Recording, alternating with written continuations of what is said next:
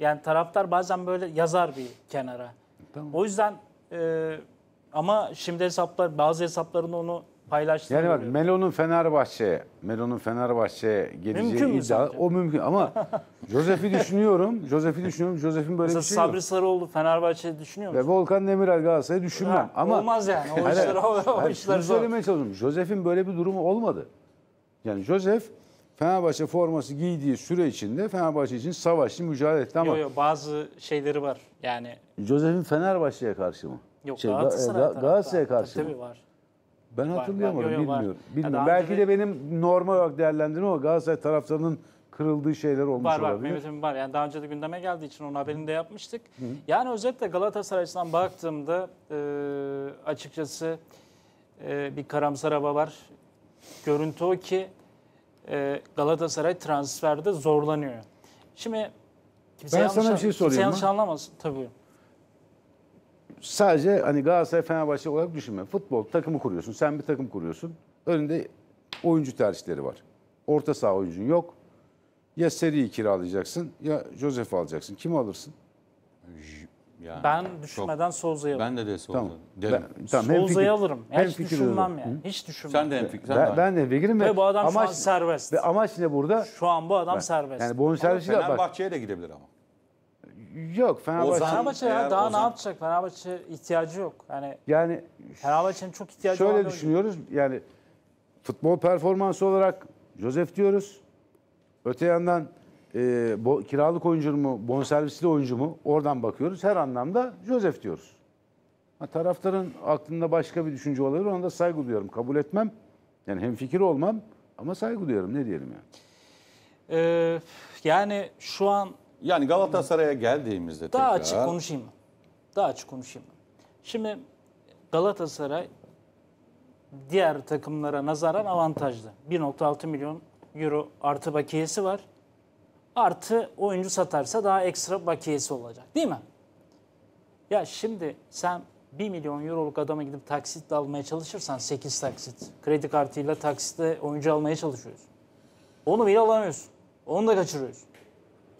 Dolayısıyla şu an Galatasaray açısından böyle bir risk var. Yani 1 milyon euroluk oyuncuyu Bu arada Tiam 2 gol atmış Antalya maçında. 2-0 önde Fenerbahçe.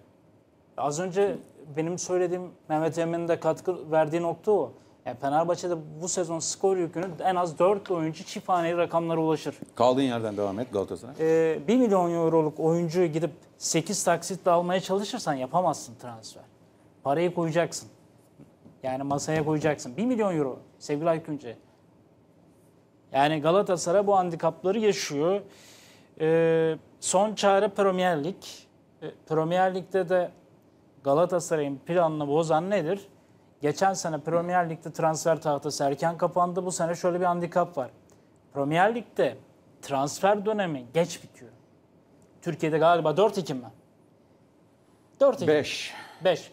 Premier Lig'de de 5 Ekim. Aynı tarihte bitiyoruz. Bir günün çok önemi var. Aynı tarihte sona eriyor. Yalnız Premier Lig'de şöyle bir şey olacak. Premier Lig'in içerisinde evet yurt dışı transfer şeyi 5 Ekim'de sona eriyor ama içeride 16 Ekim'e kadar devam ediyor. Senin şöyle bir şansın vardı geçen sene. Senden bir ay önce Premier Lig'de transfer bitmişti. Sen o oyuncuları son dakikada olsa Andone'yi, Seri'yi bir şekilde getirdin. Şimdi böyle bir şansın yok. Yani Galatasaray bir tek Premier Lig'de e, Skarta'ya çıkmış. E, Premier Lig takımlarının düşünmediği oyuncuları kiralayacak.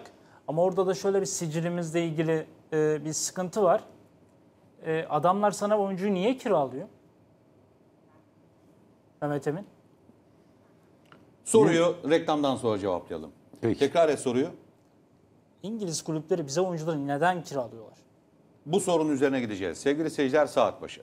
O soruyu yanıtlaması için e, bir reklamımız vardı. Dolayısıyla e, reklam dönüşü yanıtası. İngiltere'den değil mi? Evet. Şimdi İngiltere'den bir moda var biliyorsun. Son dönemde özellikle İngiltere'den oyuncular kiralanıyor. Ama artık e, özellikle İngiliz kulüpleri çok sıcak bakmıyorlar.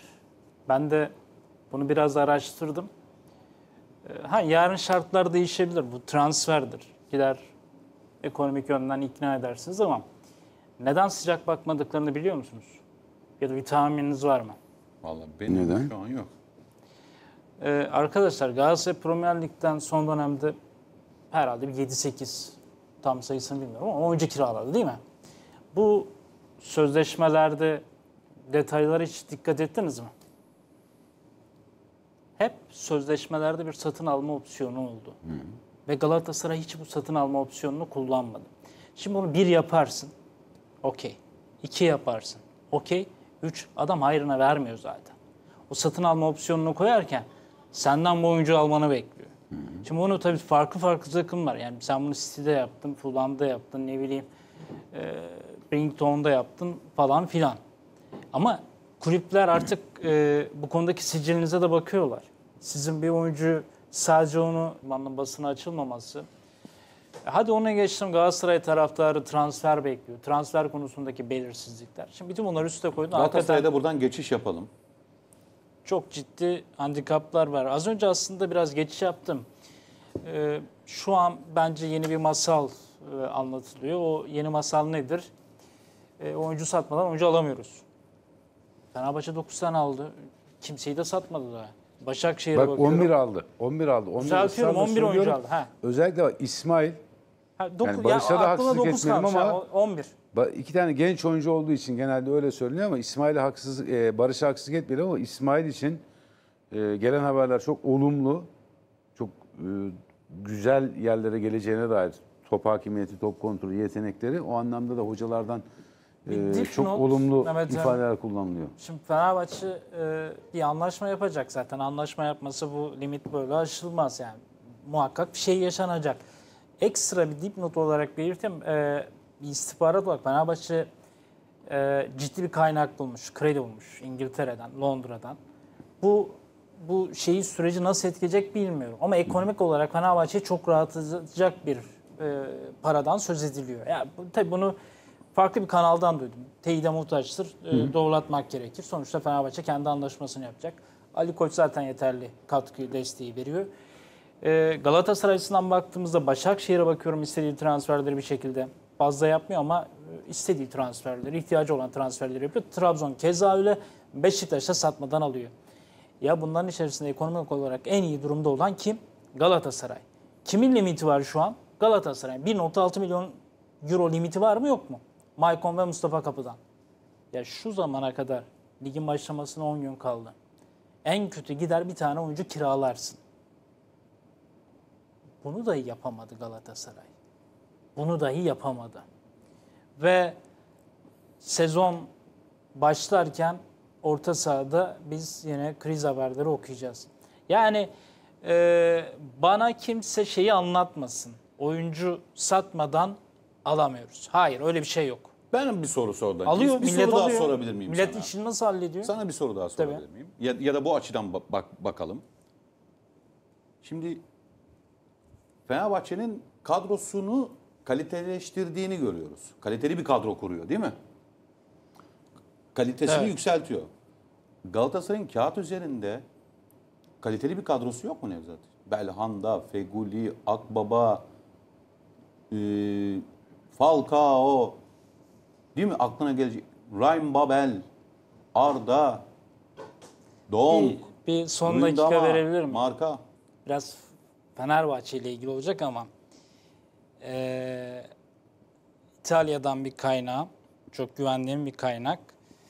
Yarın en geç 2 ile akşam 8 arası Vedat Muriç transferi açıklanacak. Fenerbahçe Lazio transferi gerçekleşmiştir. Hayırlı yarın uğurlu. yarın öğlen 2 ile akşam 8 arası Vedat Muriç'in Lazio transferi açıklanacak. İtalya saatiyle mi? Ağzından verelim Türkiye. Türkiye saatidir bu. Şimdi Ee, madem yarın öğlen 2 ile akşam 8 arası Vedat transferi açıklanıyor. Şimdi. madem O öyle bir güzel şey girdik, Bu- ben de bunun bir ek- girelim. Ben de bir ekleme yapayım o zaman.